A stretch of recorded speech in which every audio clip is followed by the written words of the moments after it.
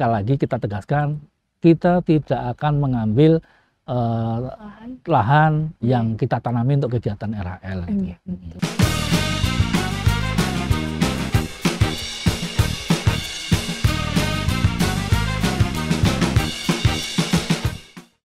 Assalamualaikum warahmatullahi wabarakatuh. Selamat datang di Forester South Borneo bersama saya Sylvia.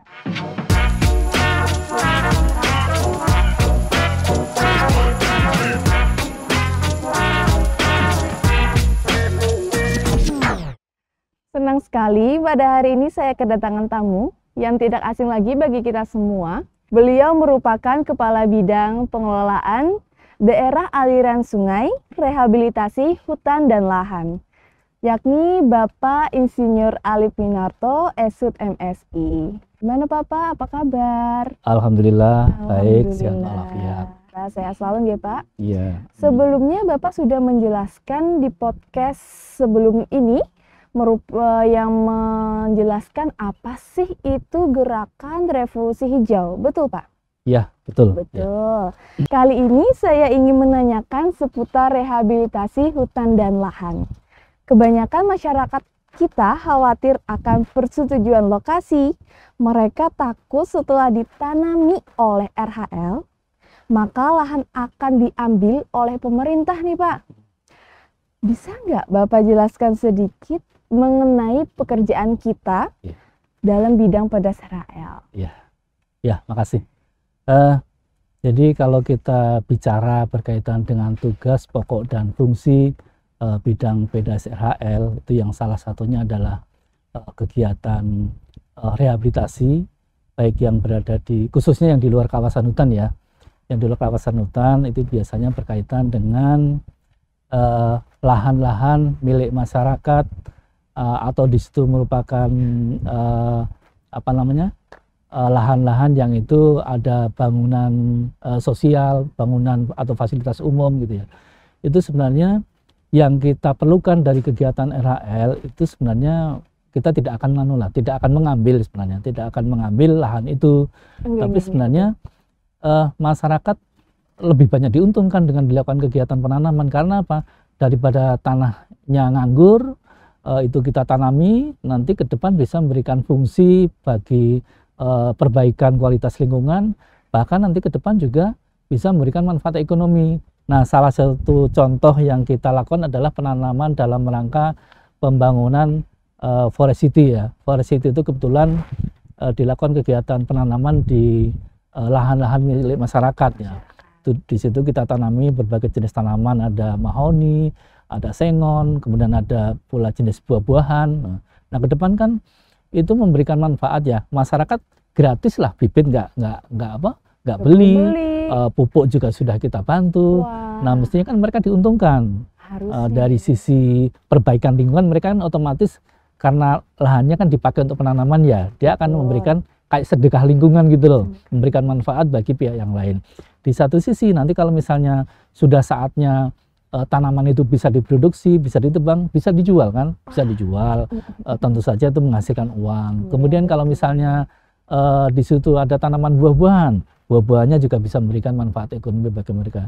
Jadi sebenarnya tidak ada yang rugi ketika kita melakukan kegiatan uh, rehabilitasi di lahan-lahan yang milik masyarakat gitu ya. Ini kalau kita bicara uh, berkaitan dengan kegiatan uh, bidang PEDAS RHL yang berada di luar kawasan hutan. Jadi jangan khawatirlah masyarakat uh, merasa nanti wah nanti kalau ditanami tanahnya akan diambil oleh diambil pemerintah. pemerintah. Enggak, enggak seperti nih. itu. Gitu. Ya. Itu berkaitan dengan uh, sekali lagi kita tegaskan kita tidak akan mengambil uh, lahan. lahan yang kita tanami untuk kegiatan RHL. Iya, betul. Jadi nggak perlu khawatir ya, ya Pak ya? nggak perlu khawatir. Karena kita tidak akan mengambil lahan tersebut, betul. malah mengelola dan memelihara tanah ya. tersebut. Ya. Tadi saya mendengar nih Pak, Bapak menyebutkan rehabilitasi hutan itu ada yang di dalam ya, kawasan betul. dan ada juga yang di luar kawasan. Ya. Seperti apa sih Pak? Ya, uh, memang kalau kita melihat regulasi tentang kewenangan kehutanan. Kebetulan kalau kehutanan di provinsi dulu ada di kabupaten ya, tapi sekarang kewenangan kehutanan kan ditarik ke provinsi semua. Itu kewenangan kita termasuk dalam kegiatan rehabilitasi hutan dan lahan itu berada di luar kawasan hutan. Artinya apa? Uh, rehabilitasi memang dilakukan di luar kawasan hutan dan di dalam kawasan hutan. Cuman kita lebih banyak lebih fokus diarahkan di uh, luar kawasan hutan, luar. apakah itu di tanah milik masyarakat atau di uh, pokoknya yang yang masuk dalam kategori kawasan hutan lah, jadi betul, seperti itu. Jadi kegiatannya bisa berupa tadi yang saya sampaikan uh, forest city, forest kemudian city. hutan kota, kemudian penghijauan lingkungan, kemudian uh, penanaman kiri kanan jalan, banyak yang sudah kita lakukan terkait okay. dengan rehabilitasi yang di luar kawasan hutan sesuai dengan kewenangan kita.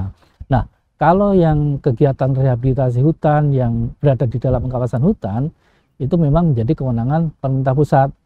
Jadi di sini karena kita ini sebagai pemangku kawasan ya, artinya kan e, kalau di Kalimantan Selatan e, walaupun kegiatan itu dilaksanakan di dalam kawasan, kita kan harus apa namanya e, punya peran juga di situ. Yeah. Kita punya peran dalam monitoring, evaluasi sebagai ko koordinator kegiatan. Yeah. Nah, jadi kewenangan sepenuhnya penganggaran itu ada di Kementerian Lingkungan Hidup dan Kehutanan. Nah, kegiatan rehabilitasi yang dilakukan seperti apa skemanya?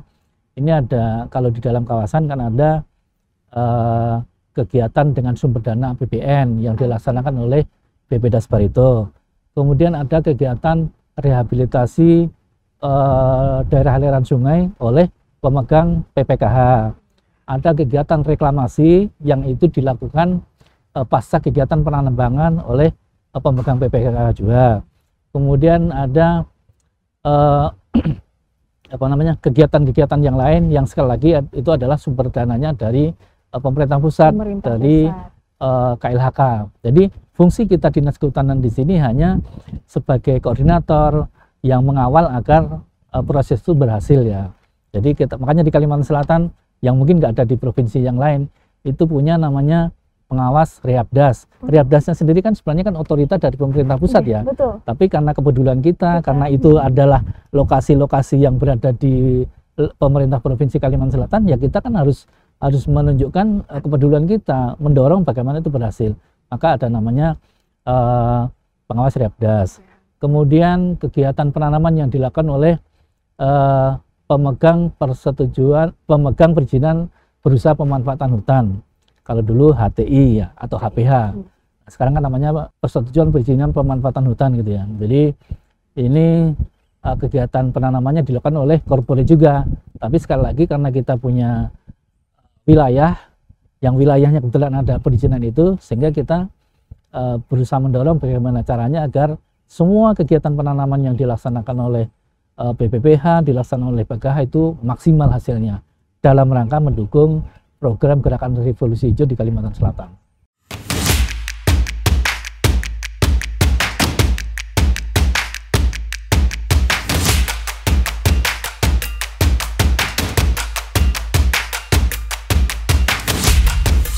Tadi saya ada mendengar sedikit kalimat konservasi tanah dan air. Itu bagi saya sendiri, Pak, itu masih awam apa sih hmm. itu konservasi tanah dan air? Yeah. Bisa nggak Pak Bapak menjelaskan sedikit mengenai konservasi tanah dan air itu apa? Ya, ya uh, konservasi tanah dan air itu menjadi bagian yang tidak terpisahkan dari kegiatan rehabilitasi hutan dan lahan. Nah kebetulan kan uh, seperti yang tadi disampaikan ke depan bahwa uh, saya saat ini kan tugasnya di bidang uh, pengelolaan oh, das dan uh, rehabilitasi hutan dan lahan gitu ya.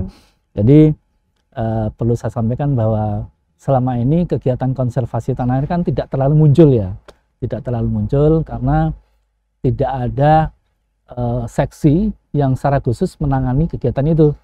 Uh, dulu uh, kegiatan ini sebenarnya sudah jalan, sudah jalan, sudah dilaksanakan, tetapi uh, menjadi bagian dari uh, seksi RHL maupun seksi pengelolaan das. Nah, sekarang sesuai dengan tugas pokok fungsi yang baru uh, di bidang uh, pengelolaan das dan rehabilitasi hutan lahan ada namanya seksi konservasi tanah dan air oh, iya. yang itu merupakan transformasi dari dulu namanya uh, seksi apa namanya uh, pengembangan hutan dan perbenian ya. Nah, sekarang menjadi sesi konservasi tanah dan air. Sekali lagi saya tegaskan bahwa itu menjadi bagian, bagian penting dari kegiatan rehabilitasi hutan dan lahan. Nah, perlu saya sampaikan juga apa sih sebenarnya kenapa sih kita uh, perlu adanya uh, konservasi, konservasi tanah dan air ya. Nah, ini kalau kita bicara konservasi tanah dan air ada beberapa regulasi, regulasi ada beberapa ya. regulasi yang dikeluarkan oleh uh, pemerintah.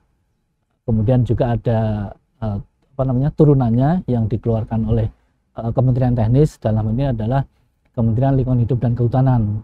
Itu awalnya ada standar nasional Indonesia yang mengatur tentang konservasi tanah air untuk uh, penanggulangan degradasi lahan. Degradasi. Kemudian setelah itu ada undang-undang yang khusus mengatur tentang konservasi tanah dan air. Jadi itu kalau nggak salah di Undang-Undang Nomor 37 tahun 2014. Kemudian eh, per, apa namanya ada peraturan pemerintah juga yang mengatur tentang rehabilitasi hutan dan lahan. Ada PP nomor 26 tahun 2020. 20. Kemudian di tahun 2000 eh, 23 ini ada Permen LHK ya, ada Permen LHK nomor 23 eh sorry, bukan tahun 2023, okay. tapi tahun 2021 ada Permen LHK nomor 23 tahun 2021 yang itu mengatur lebih uh, detail tentang pelaksanaan rehabilitasi uh, hutan dan lahan. Nah, di situlah kita mulai berbicara tentang pentingnya uh, konservasi tanah dan air. Gitu, Pak ya. Ya.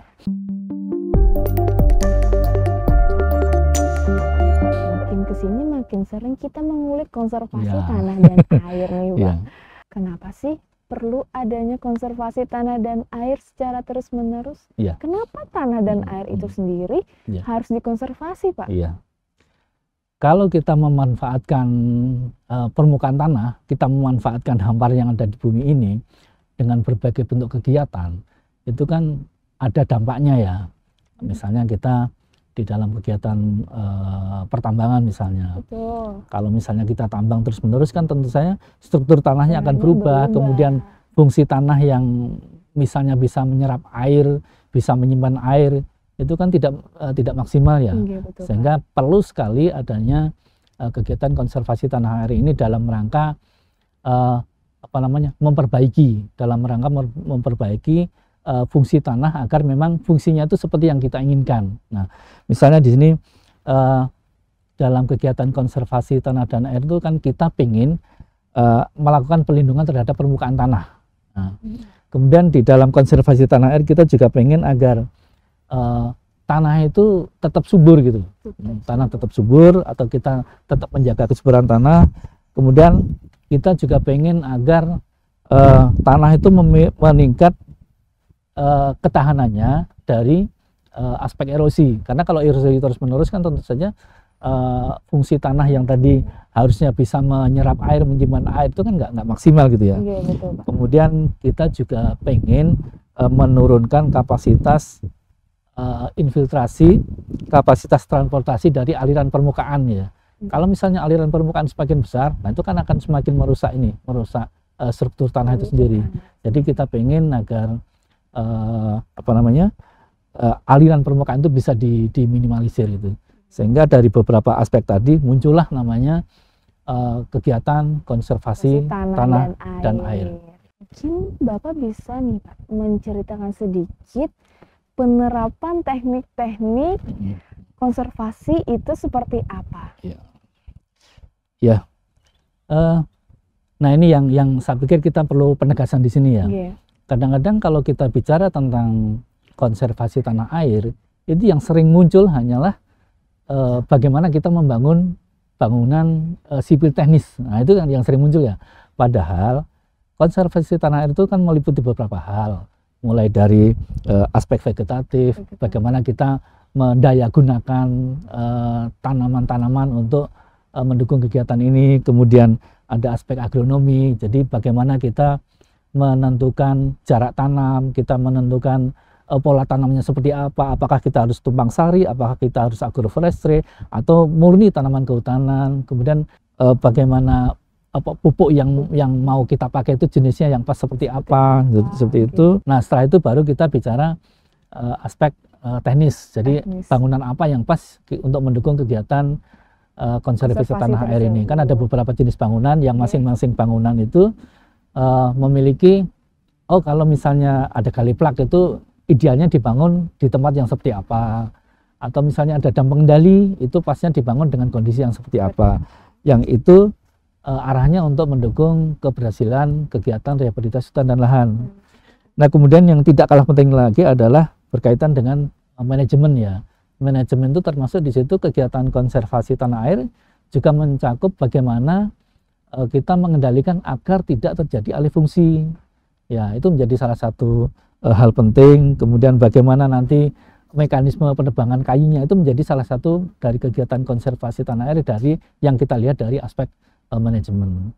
Nah, eh, mungkin kalau kita melaksanakan secara parsial eh, kegiatan konservasi tanah air, misalnya kita hanya vegetatifnya saja Betul. atau hanya agronominya saja, Saja. itu mungkin nggak akan maksimal. Tapi idealnya nanti kegiatan konservasi tanah air itu kombinasi dari semua aspek tadi. Nah, ya, yang itu kita harapkan eh, memang bisa mendukung ke- keberhasilan eh, kegiatan konservasi tanah dan air, termasuk di dalamnya adalah kegiatan rehabilitasi hutan dan lahan. Karena sekali lagi konservasi tanah air kan menjadi bagian penting dari kegiatan rehabilitasi hutan dan lahan.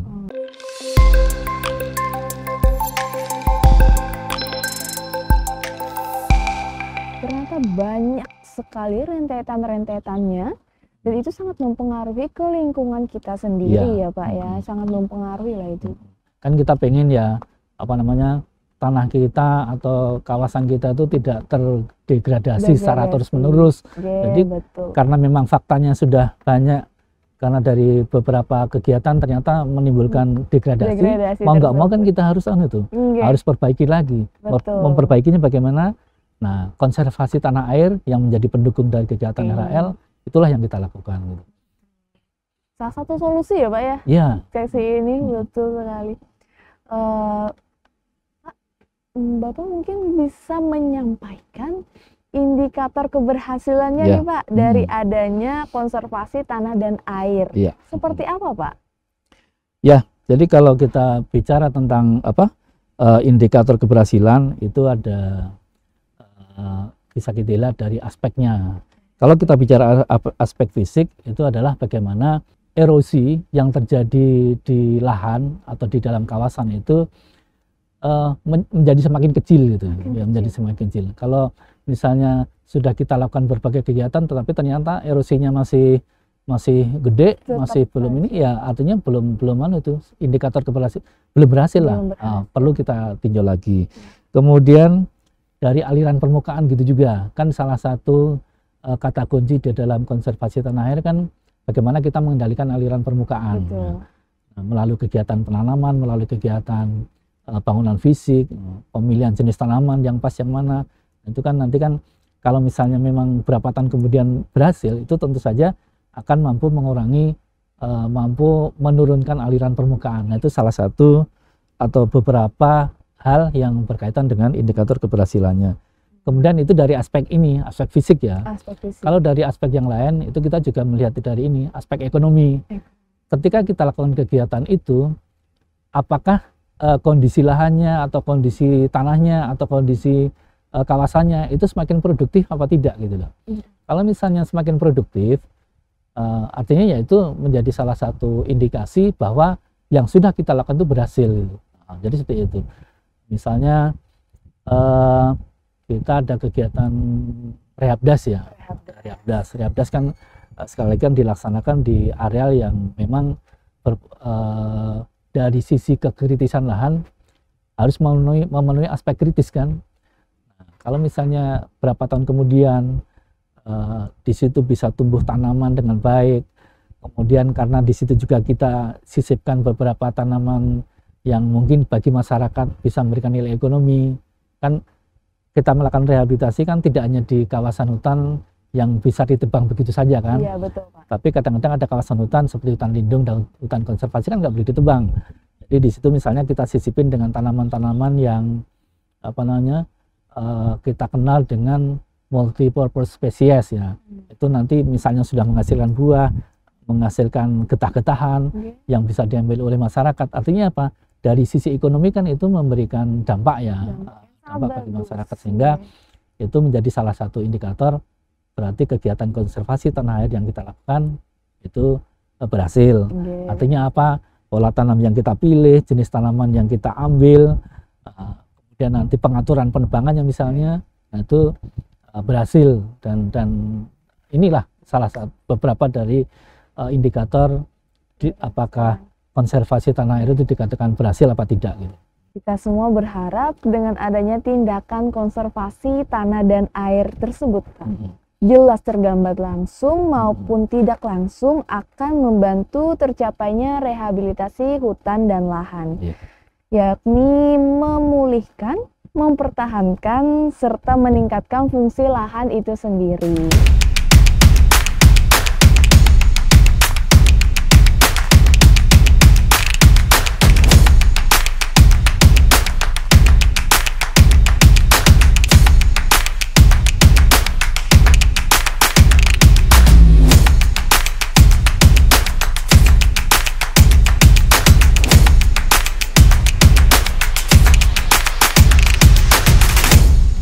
Terakhir nih Pak, saya mau minta sedikit Iya. quotes untuk penyemangat kita sebagai rimbawan untuk masyarakat seluruh Indonesia maupun Kalimantan Selatan khususnya yang sedang nonton Forester South Borneo ini nih Pak. Iya. Apa Pak? Saya terinspirasi oleh eh, Perda nomor 7 tahun 2018 tentang gerakan revolusi hijau bahwa eh, kita ingin eh, agar semua pihak itu bisa terlibat secara aktif di dalam kegerakan revolusi hijau. Jadi kita ingin ada perubahan mindset masyarakat Mindset. untuk gemar menanam ya Betul. dengan melibatkan eh, pihak-pihak yang terkait. Jadi pemerintah pusat, pemerintah daerah, bahkan sampai pemerintah kecamatan dan eh, pemerintah desa ya. Kemudian masyarakatnya sendiri, kemudian tidak ketinggalan korporat ya. Kan Korporat. korporat di situ ada eh, yang terkait di kehutanan kan ada PPKH, ada PPPH, ada apa industri itu. Industri. Nah, kita harus bersinergi untuk eh, apa namanya mendukung gerakan revolusi hijau melalui kegiatan penanaman yang sudah kita coba melalui berbagai inisiasi. Sekali lagi eh, eh, saya sampaikan bahwa kita kewenangannya di luar eh, kawasan hutan, tetapi kita juga tidak boleh tinggal diam dengan kegiatan rehabilitasi hutan yang berada di dalam kawasan hutan. Eh, kita support mereka terus, kita selalu bersinergi agar kegiatan rehab- rehabilitasi hutan dan lahan yang dikemas dalam gerakan revolusi hijau itu hasilnya maksimal. Sayang Pak Gubernur sudah mencanangkan ini, sudah memformalkan dalam bentuk eh, perda gerakan revolusi hijau. Kalau hanya tertulis manis di atas kertas kan sayang. Jadi harus Sekali. kita eksekusi sama-sama. Nggak akan berhasil kalau misalnya tidak ada sinergi antara kita. Itu.